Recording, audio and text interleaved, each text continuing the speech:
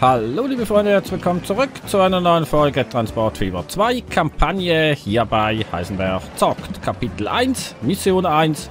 Wir sollen äh, Leute transportieren. Ah, guck mal an, drei haben wir jetzt doch schon. Das ist ja sehr schön. Äh, große Gaudi. Äh, Bonusaufgaben. Äh, zugerollt, Menschen lassen, lass es dir nicht nehmen. Ja, haben wir ja gemacht. Okay. Äh, das haben wir, glaube ich, auch äh, fertig. Moment, finde den nächsten Hinweis. Ernüchterung. Der Territorial Enterprise Aha. vermeldet, der wilde Ah, ja, genau. Ist tot. Sein Leichnam wurde den Wassern des Lake Tahoe übergeben, wo er auf 200 Meter Tiefe sinken, bewegungslos in einen Eisblock eingeschlossen und aufgrund des hohen Drucks auf die Größe eines Kleinkinds schrumpfen wird. Ja, da lässt sich wohl nichts machen. Nein, das haben wir, glaube ich, noch gar nicht gehört. Okay, aber geschafft haben wir's. Jetzt, wie viele Leute haben wir? Ähm, drei von fünf immer noch. Leute, Leute, benutzt unsere Kutschen. Wir brauchen fünf Leute, damit wir hier weiterkommen. Aber es ist halt einfach schön. Ich dachte jetzt gerade wieder hier, wie dieser Markt gemacht ist. einfach nett mit den ganzen Ständen. Man kriegt fast ein bisschen Hunger, wenn man das hier sieht. So Karotten etc. Hm, durchaus lecker. Da muss man nicht mal ein Hase sein dafür, damit einem das schmeckt. So, sollen wir schneller stellen? Ich würde sagen ja, weil wir können das nicht groß beeinflussen, was hier passiert. Also die Leute müssen einfach transportiert werden. Da, jetzt müsste hier wieder einer dazukommen. Ne, jetzt haben wir es ja schon. Zeit nichts als ein ödes Provinznest war, gedeiht nun dank deiner Transportdienstleistungen ein prächtiges Städtchen. Im Volksmund nennen sie es gar das Wunder von Carson City. Immer mehr Menschen wollen hier ihr Glück versuchen. Daran sollte man die Leute nicht hindern. Nö. Steige ins Passagiergeschäft ein.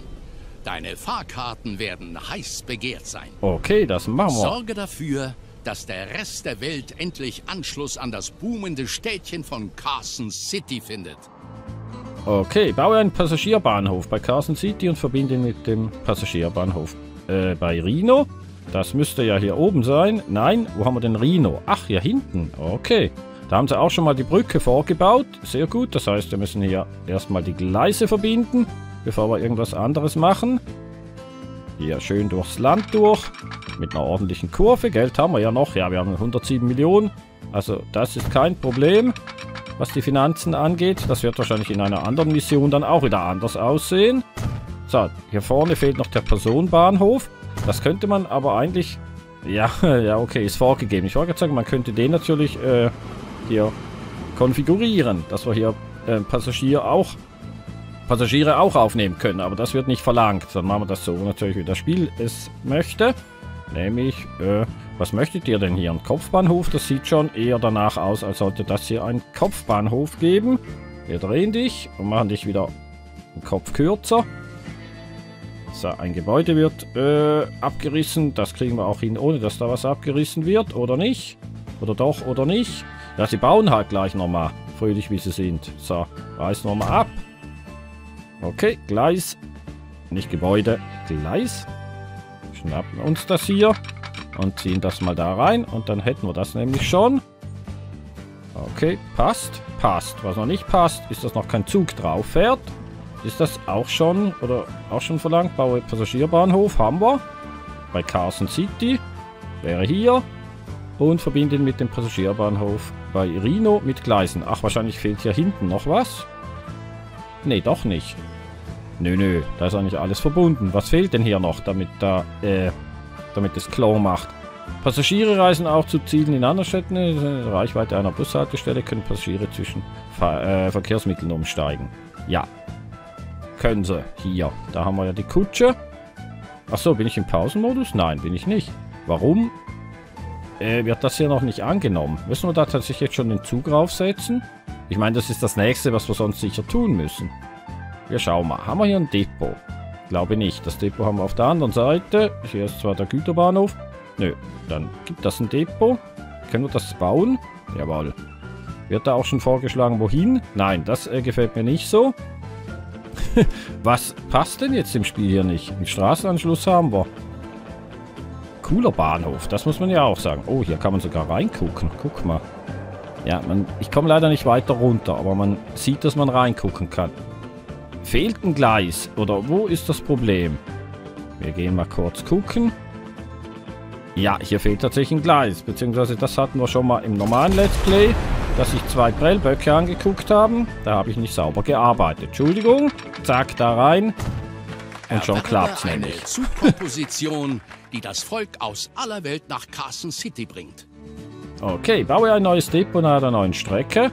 Äh, hättet ihr da einen Vorschlag, wo ich das hinbauen soll? Nein, das darf ich jetzt tatsächlich frei bauen, so wie es aussieht. Na, dann machen wir das. Hätten wir eigentlich vorher schon machen können, hätte aber nichts gebracht, weil ja ganz einfach da ein Stück Gleis gefehlt hat. So, einmal drehen. Machen wir dich mal hier hin. Das ist jetzt nicht so clever. Wenn man das machen würde jetzt im normalen freien Spiel, dann würde ich sagen, das ist nicht schlau, weil man kann den Bahnhof nicht mehr groß ausbauen. Ja, deswegen lassen wir es. Ich wollte gerade sagen, warum soll ich es dann hier machen? weil es halt gerade cool aussah. Aber das passt eigentlich auch hier hin. Zack. Wir nehmen wieder ein Gleis. Ja, und bauen das jetzt aber so, dass es auch funktioniert. Dankeschön. Zack. Äh, kaufe dort eine weitere Lokomotive und drei Wagen. Gerne. Äh, hinzufügen. Äh, eins, zwei, drei. Haben wir. Kaufen. Dankeschön. Zeit, die Linie von Reno in die Silberstadt Carson City zu eröffnen. Ja, habe ich gerade gemacht. Hat's geklappt? Äh, irgendwie kommt hier noch keiner raus. Moment, Zug 2, Linie. Linie 2, Weg zur Haltestelle. Kann nicht gefunden werden? Echt jetzt? Muss der zuerst da rein oder was ist jetzt das Problem? Erstelle eine Linie zwischen der... Äh, äh. Ist die falsche Linie? Nein. Nochmal gucken. Linie 2. Ist das Linie 2 hier unten? Wir rufen mal die Linien auf und gucken mal schnell. Äh, nee, die ist da hinten. Oh, okay. Aber ich habe doch... Habe ich denn noch gar keine Linie erstellt? Erstelle eine Linie. Dumm, die dumm, die dumm. Ich habe noch keine Linie erstellt. Okay, das kann mal passieren. So, jetzt haben wir eine Linie. Und jetzt kann ich den Zug tatsächlich auch zuweisen. Das ist natürlich dann doch relativ praktisch. Okay, machen wir hier nochmal diesen und dann nehmen wir eben die Oben blaue. in Glenbrook gibt es Feuerholz, das die Dampfmaschinen in den Silberhütten so richtig schön zum Schnaufen bringt. Aber Vorsicht, dass dir nur die Cartwrights von der Ponderosa Ranch nicht über den Weg laufen. Mit denen ist nicht gut Kirschen essen. Okay, machen wir natürlich. Da bist du den Cartwright-Jungs gerade noch entwischt. Jetzt so schnell wie möglich eine ordentliche Ladung Baumstämme ins Tal schaffen, bevor die Rancher wiederkommen. Okay, ähm, hier haben wir die Hauptmission. Und hier unten haben wir die andere. Das wird jetzt einfach von alleine mehr oder weniger funktionieren müssen. Wir haben aber hier von der Ranch äh, zur Holzanlieferung. Wo ist die? Die ist hier unten, okay. Und wo ist die Range? Hier oben. Ja, ich würde sagen, das machen wir wahrscheinlich am besten mit Kutschen. Also hier Holz, äh, beziehungsweise Baumstämme oder was auch immer das sein soll. Und hier unten abliefern. Sehe ich das richtig? Äh, Typ, Regel, jawohl. Äh, ja, Kutschen. Mit der Eisenbahn hier hoch würde ich nicht. Also, äh, machen wir mal. Wir brauchen, zack, das Teil. Dann brauchen wir Gebäude. Und dann brauchen wir hier nicht eine Bus-Tram-Station, sondern eine LKW-Station. Da könnte man auch was Kleines nehmen. Beziehungsweise, nee, das gibt es noch gar nicht. Okay, dann machen wir das hier. Kostet ein bisschen Geld, weil sie da einen Berg reingraben müssen. Ist aber egal. Wir haben ja das Geld. Zack, einmal hier. Hier unten haben wir ja die Haltedingens, glaube ich, schon. Wo muss das Holz hin? Ne, da haben wir... Doch, das reicht. Das ist auch drin. Ja, ja, ja, ja, das reicht dicke. Also, neue Linie. Von hier nach hier oben. Zack, die Linien benennen wir jetzt mal nicht. Es ist die Kampagne. Ich glaube, da brauchen wir nicht unbedingt, äh, dass wir jede Linie benannt haben. Haben wir ein Straßendepot? Ich glaube, doch, müssen wir da irgendwo haben. Wir haben hier ja Kutschen. Wo haben wir es denn? Wo haben wir es denn? Gut versteckt, da hinten. Okay, Fahrzeuge kaufen. Wir brauchen das amerikanische Pferdefuhrwerk. Okay, äh, kaufen wir... Ja, machen wir mal drei Stück. Okay, Linie zuweisen wäre dann die Linie 3. Und das müsste eigentlich auch schon funktionieren. Oh, da haben wir eine Fehlermeldung. Aha. Und zwar... Gute Frage. Äh, die Linie wird nicht eingezeichnet. Aus irgendeinem Grund. Oder wird sie eingezeichnet? Moment, ich mache hier nochmal zu. Mach mal L. En enthält zu wenige... Achso, ich habe die... Echt jetzt? Nein, nicht neue Linie. Die löschen wir wieder. Sondern die bestehende. Äh, das wäre dann hier gewesen, die Linie 5. Da fehlt doch tatsächlich noch was. Okay, Haltestelle hinzufügen. Jetzt. Jetzt wird ein Schuh draus. Okay. Passt. Sind unsere Fahrzeuge schon unterwegs? Ich glaube nicht. Doch, sind sie. Muss ich euch nochmal neu zuweisen, weil ihr nicht wisst, was ihr tun sollt. Ne, das ist Linie 3. Linie 5, ne, ne, das passt. Die sind tatsächlich schon rausgekommen. Haben wir eine gewisse Anzahl, die wir hier transportieren müssen? Liefere Baumstämme, das ist nicht näher definiert. Okay, dann können wir das lassen. Vielleicht sollte man, also die lassen wir jetzt einmal mal arbeiten. Da oben liegt eh schon was bereit. Vielleicht sollte man hier hinten noch schnell gucken, dass wir hier noch ein, zwei Busse machen. Damit hier auch tatsächlich genug Leute äh, daherkommen. Sechs haben wir schon. Einzugsbereich. Ja, der ist, guck mal, wie fett der Einzugsbereich von diesem Bahnhof ist. Ne, da brauchen wir definitiv keine Busse hier. Dann können wir das Geld sparen. Aber wir sind hier noch nicht mitgefahren, fällt mir gerade auf. Lasst uns mal noch kurz einsteigen. Und dann fahren wir nochmal durch die Prärie.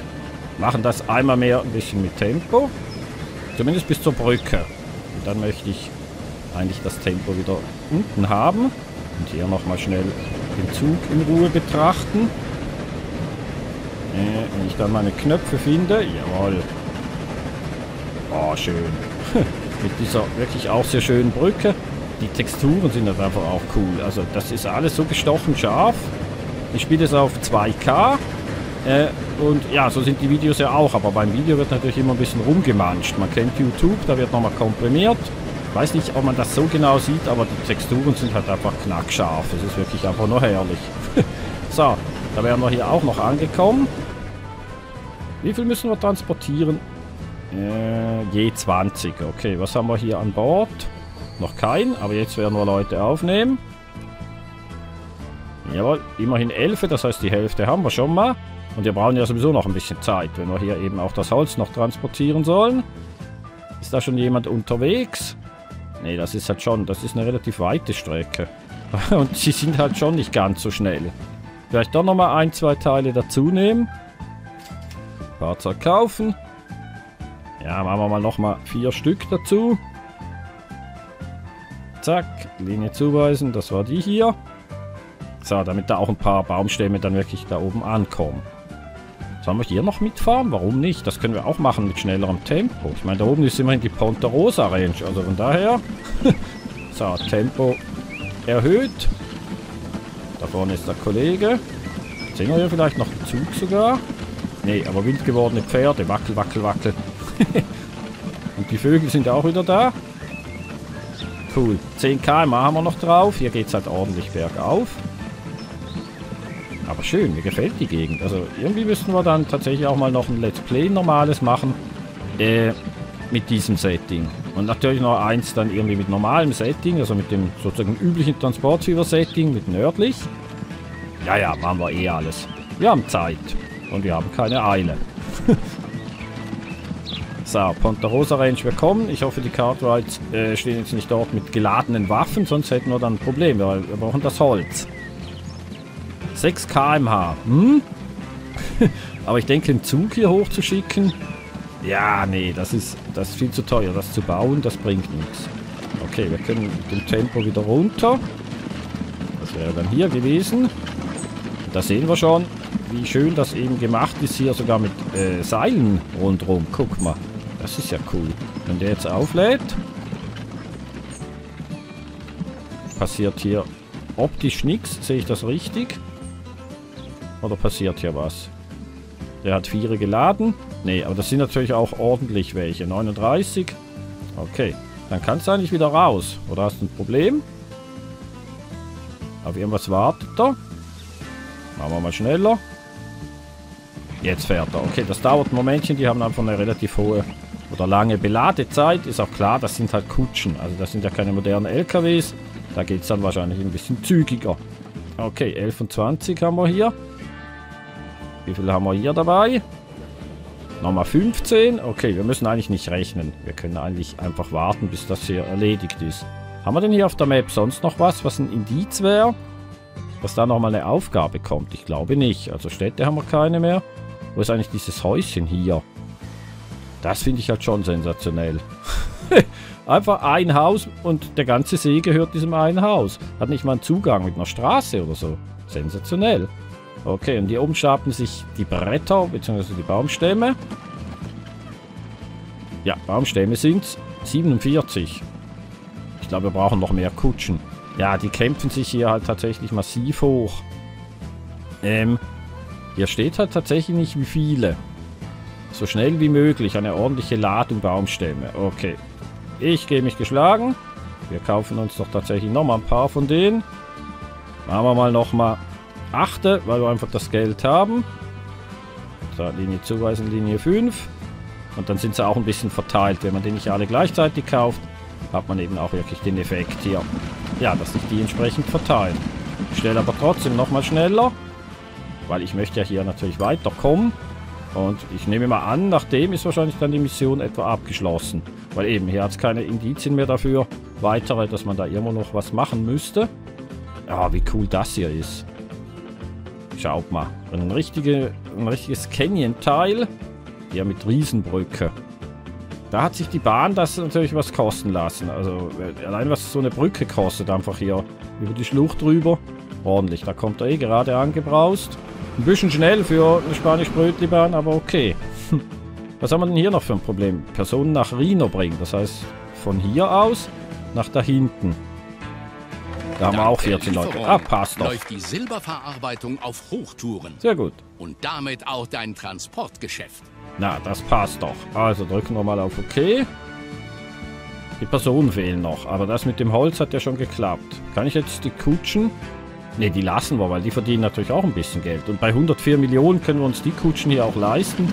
Also das können wir lassen. Aber die Mission haben wir noch nicht.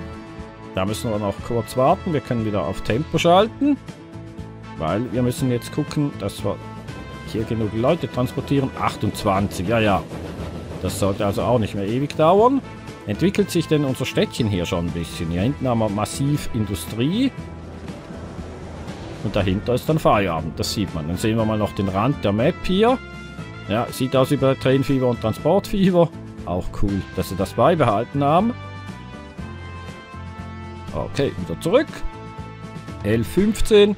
Ja, dauert halt ein Momentchen. Aber hier stapeln sich dafür die Leute jetzt. Sehr gut, 21. Und hier an den Bushaltestellen haben wir den gleichen Effekt. 19 Leute. Da mache ich jetzt aber nicht mehr viel. Weil das Problem an der Kampagne ist halt, ich habe tatsächlich bei äh, Transport hier, bei der Kampagne jeweils wirklich äh, mich bemüht, sehr schön zu bauen und mit das Ganze noch auszuklügeln. Eben, das würde heißen, hier nochmal ein paar äh, Kutschen dazu und so weiter. Vielleicht noch ein Zug hier, dass äh, mehr transportiert wird. Und das alles mit dem Effekt, dass wenn natürlich die Mission vorbei ist, ist vorbei. Dann ist zack und weg. Und das äh, habe ich dann irgendwann aufgegeben. Ganz einfach, weil ich wusste, das ist eine relativ temporäre Geschichte, die wir hier haben. Also hier schön bauen bringt nicht viel. Wir müssen einfach die Anforderungen sozusagen abschließen, die hier an uns gestellt werden. Und dann geht es dann eh schon wieder zur nächsten Map. Jetzt haben wir hier 30 Leute. Man sieht, auch das wird dicke reichen. Er muss noch einmal nach da hinten düsen. Dann haben wir das. Ich weiß nicht, ob wir die Mission dann haben.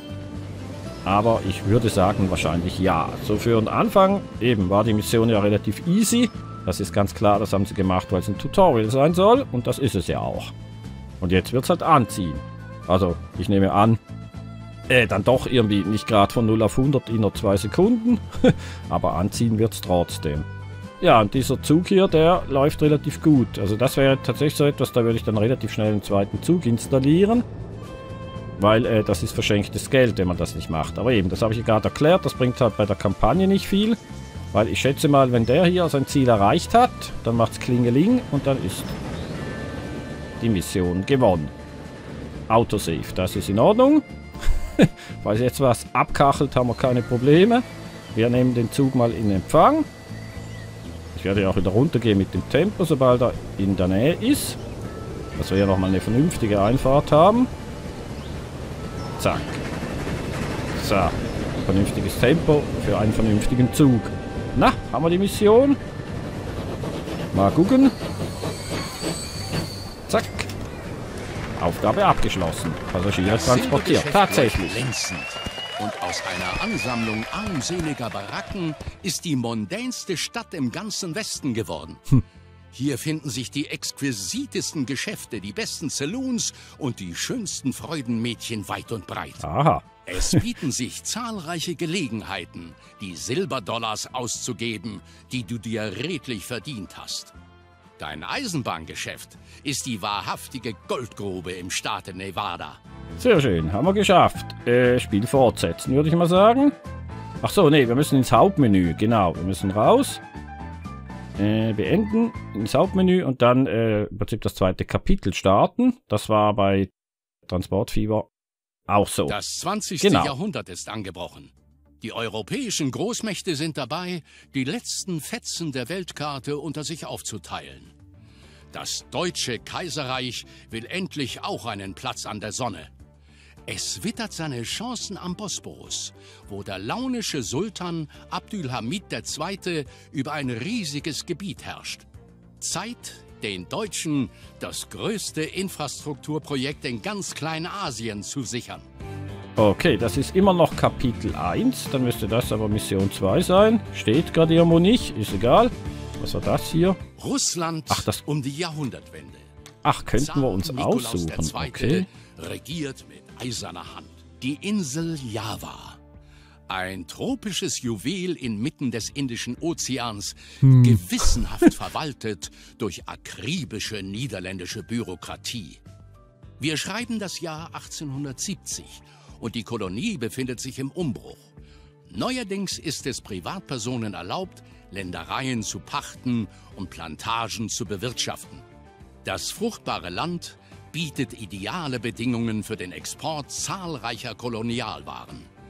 Auf zu einem exotischen Erlebnis. Okay, das sind also sechs äh, Missionen im Kapitel 1. Drei Kapitel sind es, das heißt, es sind 18 Missionen. Und jetzt kann ich hier aber frei wählen. Ich würde sagen, wir machen das zweite. Oh, ich sag das nochmal.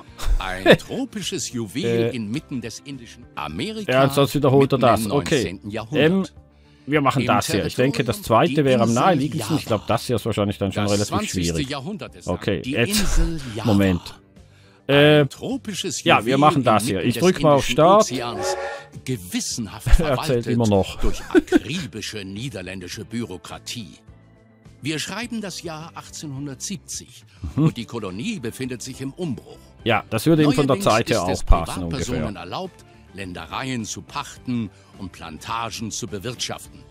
Das fruchtbare Land bietet ideale Bedingungen mhm. für den Export zahlreicher Kolonien. Ja, jetzt verstummt er, weil jetzt kommt die Zwischensequenz. Indien. Gewiss das vortrefflichste Kolonialreich unter der Sonne. Voll mit köstlichen Früchten und wohlfeilen Arbeitskräften. Du stehst im Dienste der Kolonialverwaltung.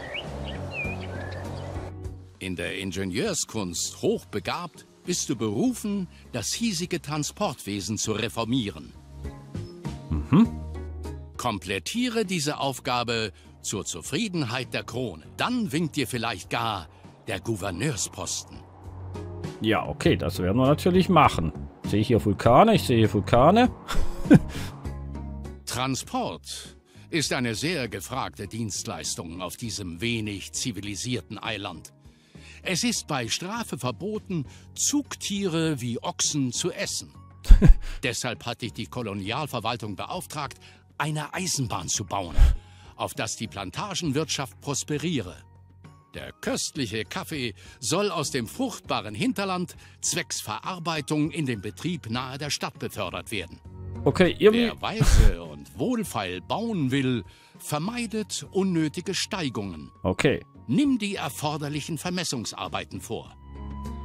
Okay, werden wir machen. Ich wollte gerade noch sagen, ähm, natürlich irgendwie klar, dass man die Ochsen nicht essen darf. Äh, unser eins ist ja sein Auto auch nicht. Also, ist irgendwie nachvollziehbar. Ja gut, das machen wir alles in der nächsten Folge. Ich hoffe, diese hat euch ein bisschen gefallen. Wir haben die Mission 1 abgeschlossen. Jetzt heißt es Mission 2, hier in den Tropen zu bewältigen. Und das werden wir hinkriegen, da bin ich relativ zuversichtlich. Danke fürs Zusehen, bis hoffentlich zum nächsten Mal. Macht's gut, tschüss.